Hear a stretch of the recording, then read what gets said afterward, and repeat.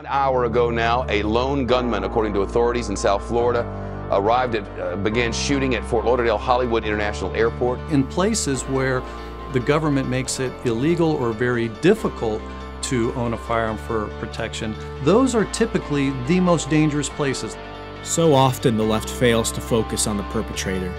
For instance, Dan Gross blames the gun industry for 26 year old Esteban Santiago's heinous acts. There's a whole list of places where killers have actually targeted the places where people can't protect themselves.